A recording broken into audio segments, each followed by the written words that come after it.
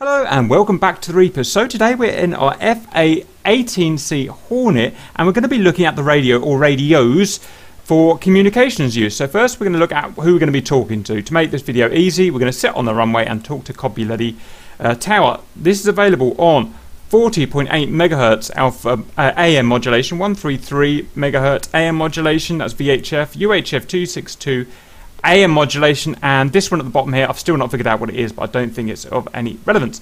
Uh, so that's who we're going to be talking to. So I'm going to write that down. Also, we've got this dude here, a tank uh, T90, and he is transmitting on um, 31 megahertz FM. So we've got something in the FM, VHF FM modulation there at 10 watts and he's transmitting this wave file here on repeat. Okay, I've got my Hornet here. If I click on us, uh, the Hornet can work either on presets or we can tune in manually on the Hornet. Um, so we, to do the presets, they're set in the mission editor. They can only be set in the mission editor, and we can click here. We've got the ARC210. We've got two ARC210s in the Hornet, so you've got two identical radios, and you can run them at the same time.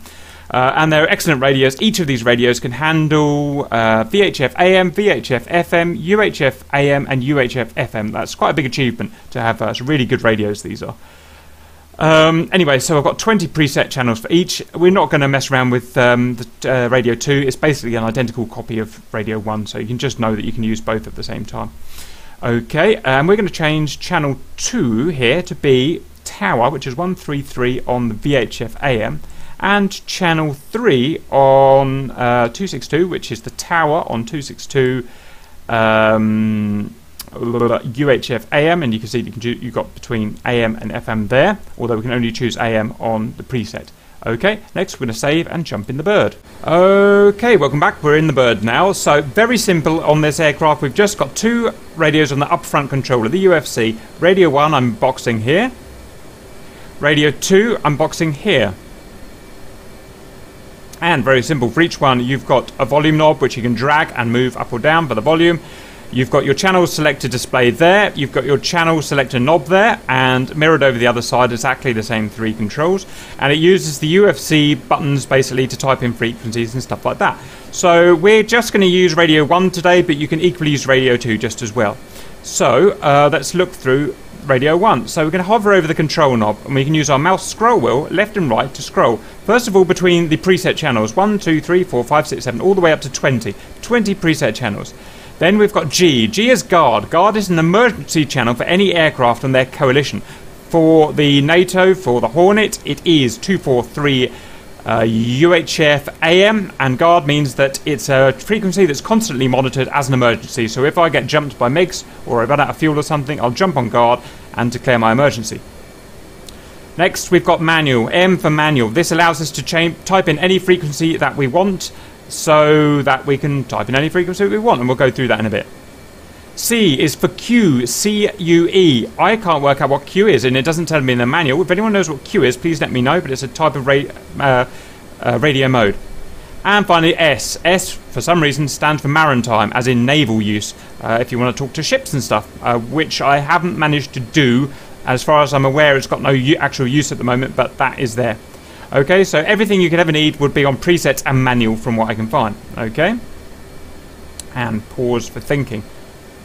So next, let's start contacting the town. Now first, I'm not going to tune anything in at all, and we're just going to contact the... Start again. Okay, now every time we select a channel here, and you can see the channel we've got displayed here, uh, currently preset 1, we get options down here. Um, and these options will vary between the different channels that we select because different radio bands and different modulations have different options. Okay, so just if that ever disappears, just click left click to bring it all up again. Uh, sorry, just yeah, like that. So let's go over the options. So preset 1, which is UHF AM, gets these selections. Guard receive. If you click on this and it's checked uh, with a colon there, it means that you can listen to guard as well as using preset 1. So I can listen to only guard. I can't transmit on guard, but I can listen to guard while speaking and listening to 305. So that's a, something you can leave on all the time and that will be fine. Sometimes we use that in our missions. Next, we've got squelch, anti-squelch. Uh, so if I were to turn that off, it makes sound, and if we turn it on, it takes away that sound. That, that sound is squelch, okay? Cipher is next. Cipher, all uh, radio transmissions from Hornets are ciphered and deciphered for, you know, because it's military. Uh, it's not modeled in DCS, so ignore it. And next, some bands can have AM and or FM. So UHF that we're in at the moment, which is 225 to 399, can have AM or FM.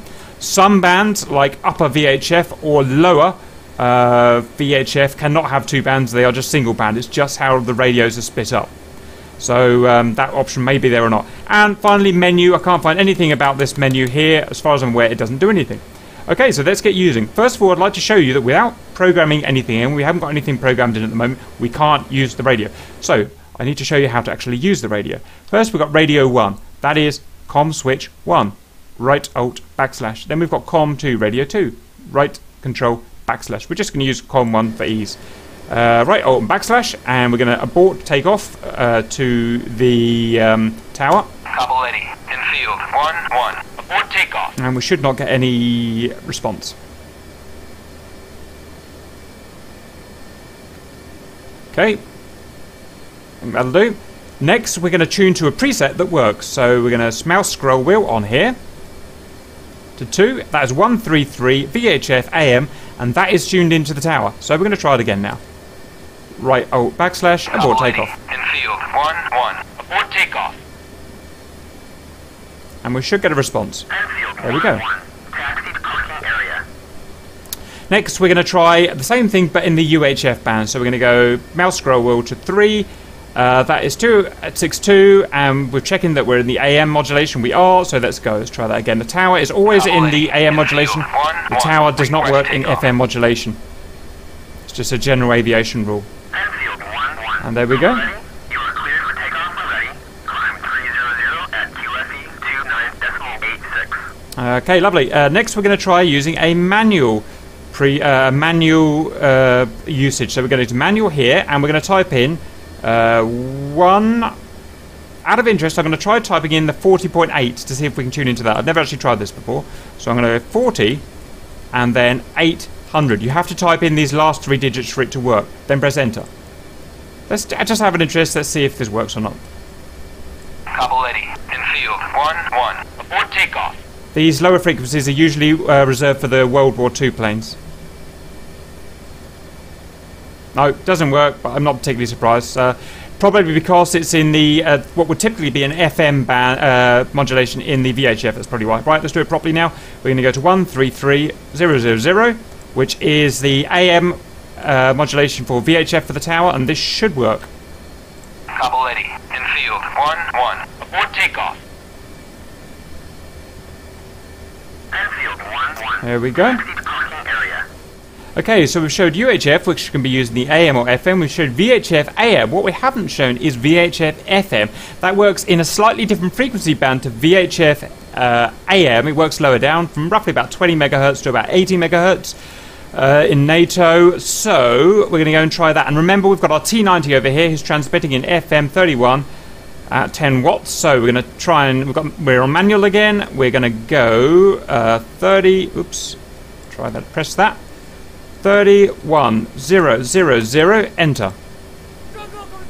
And you can hear him talking so it's we're receiving him now on 31 now you notice I didn't have to tell it to be FM that's because 31 is in the natural FM band of VHF which is 20 to 80 uh, and that's picking him up. Uh, this these can be used for navigation. Let me just turn him down because I can't hear uh, these can be used for navigation. You've got the ADF switch here. However, we'll we'll um, do a ADF tutorial for that. That's the radio. That's all the uses of the radio that I know of. I hope that helps, and I'll see you later.